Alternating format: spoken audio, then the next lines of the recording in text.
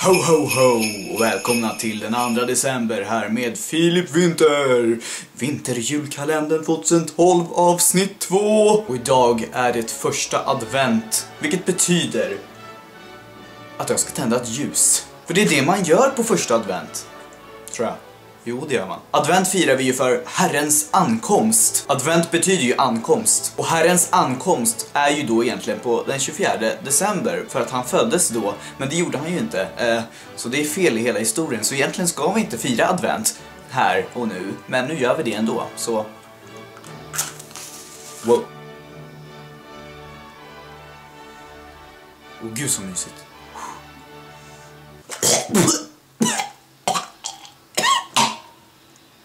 Idag hörni tänkte jag bjuda på lite julfakta, så vi börjar med en gång. Julgranar är faktiskt ätbara har jag läst. Barren innehåller mycket C-vitamin och kottar innehåller även mycket näring. 1996 förbjöds julkörer i två stora shoppingcenter i Florida för att de var för högljudda enligt alla som var där. Jag skulle aldrig vilja förbjuda julkörer. Alltså vad fan? I Sverige och Finland var det tydligen dubbla böter på alla brott under julfriden. Det har jag aldrig hört förut. I Nordamerika hänger barnen ut sina strumpor medan holländska barn hänger ut sina skor för att få julklappar i. Här i Sverige så väntar vi på att få klappar under granen.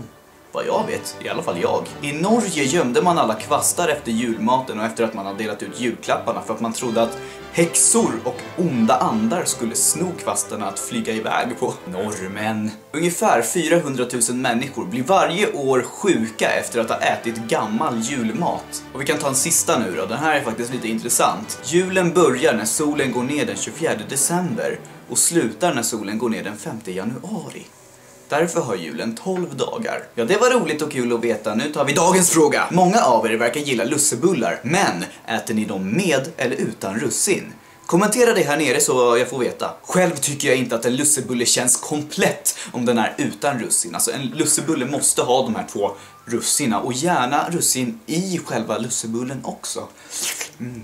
Det var allt för idag. Hoppas ni har en bra första advent hörni. Imorgon är det skola igen. Snart är det över. Kämpa på! Är du klar med julgodiset? Ja, men det tog nästan knäcken på mig.